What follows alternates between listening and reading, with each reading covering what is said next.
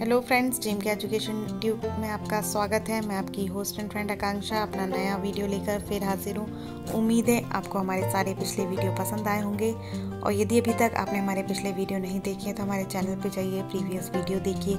यदि आपको अच्छा लगता है तो लाइक ज़रूर कीजिए, अपने दोस्तों से हमारा वीडियो शेयर कीजिए। और अभी तक आपने हमारे चैनल को सब्सक्राइब नहीं किया है तो हमारे चैनल को सब्सक्राइब करना ना भूलें।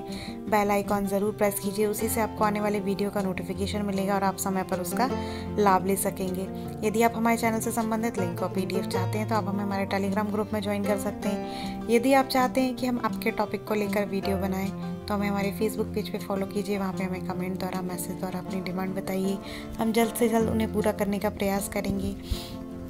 चलिए शुरू करते हैं इस वीडियो के टॉपिक पे चर्चा करना, जो कि आप ही की डिमांड पर है। आप ही की डिमांड के अनुसार हम ये वीडियो लेके आए हैं। बहुत से लोग हमें मैथ्स के टीएलएम की डिमांड कर रहे थे तो उसी के अनुसार हम ये टीएलएम लेकर आए हैं आपके लिए।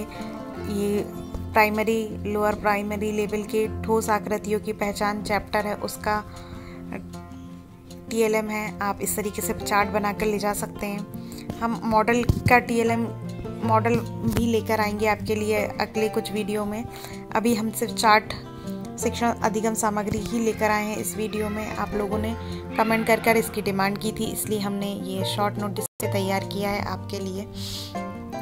वीडियो।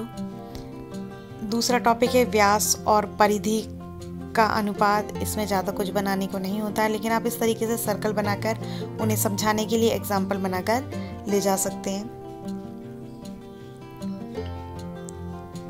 फिर है आरोही क्रम और जिसमें आप इस तरीके से बस बनाकर, कोई जीव जंतु बनाकर या कुछ भी बनाकर इस तरीके से आरोही क्रम का चार्ट बना सकते हैं, बच्चों से बोल सकते हैं कि इस बॉक्स में क्या आएगा और जैसा जैसा वो बोलते जाएँ, आप लिखते जाएँ तो आप इस तरीके से भी चार्ट में आरोही क्रम और अवरोही क्रम का चार्ट भी इस तरीके से बना सकते हैं।